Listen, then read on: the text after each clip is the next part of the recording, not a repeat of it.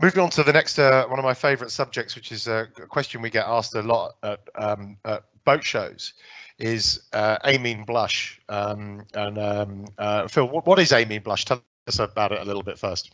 Yeah, amine blush is one of the you know byproduct really of, of the um, epoxy curing process that, that appears on the surface of, of, a, of a, cured um, resin surface. It, it, kind of appears in a in a waxy format. You know, if you've coated a piece of timber you can you can drag your finger across it. You can feel the greasy like substance on the on the top of a, a cured um, epoxy coating.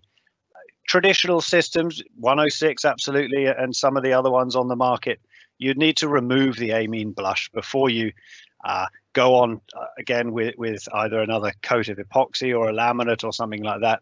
And removing the amine blush requires, you know, hot soapy water, solvents, or, or, or whatever. You know, the best best thing that the manufacturer recommends to remove it.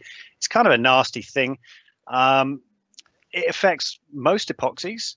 Um, you'll see it. You, you, won't see it with Ampro. One of, one of the key things that we've managed to do here is formulate something that does not blush. So you, you don't have to do that preparation to a, a, an epoxy surface prior to recoating it um, you have a longer open time window. So you don't have to play around tack on tack or sanding and cleaning. You, you have about four days. We, we recommend you have a four day open window to coat Ampro on Ampro or apply laminate to a coated surface with Ampro. So amine blush is a is a thing of the past here with Ampro, which is, is quite a revolution for, for us today. Wow, that's that's gonna that's gonna cut some questions out of the post show. Um, the uh, amount of people that I often would ask is, "My resin hasn't gone off properly," where in fact it's amine blush on the surface and they're sanding it, it's chewing up the king. That's that's really really cool. Um, we're not going to go to the lab on this one. It's very difficult for the lab to show us uh, uh, amine blush in any way, shape, or form. Let's just go back to Chris and see if we've got any questions reference amine blush. blush. Uh, yeah, there's a couple. The first is um, uh, sometimes when when I leave an epoxy to cure overnight, there's a, a, milky look on the surface in the morning. Is that amine? You know, I see this appear on on bits and pieces I do with epoxy around the place, and it's moisture. It's amine and it's moisture. It's it's the amine attracting moisture at the end, and it, it, it's a bit of a tricky thing to try and get rid of in its entirety. Um, so yeah, we don't we don't like that white stuff. So again, we shouldn't see that, or we we won't see that with um, with the Ampro system.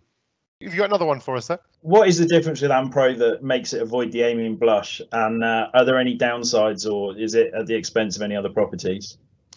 Now I'm not sure whether to throw that one at everyone at Steve or or or or, um, or Phil. Steve, are you still? Uh, yeah. Uh, okay. Yeah, we're on. Yeah, yeah. Did, you, did you hear that question? Yeah. Um, basically, the formulation has all been um, done using new chemicals. It's not using the old amines that we were before. And as Phil has said earlier, things have moved on. Um, we've got some very entertaining and intelligent um, chemists on board, and they have basically spent quite a few, it's probably 18 months, two years to work on this. We've got this new curing technology to get a better through cure, and we believe it's this better through cure that we get, uh, which is obviously indicative when you're doing this, it'll cure better at five degrees that seems to seal and cure the system off to keep uh, the moisture at bay effectively. The moisture is still there. There's still environmental moisture in your workshops, but this stuff gives you a better through cure to avoid that long open surface, horrible sort of um, what we should say, reactive surface, should we say? Okay, cool. Answer your question? Yeah, thanks, Steve.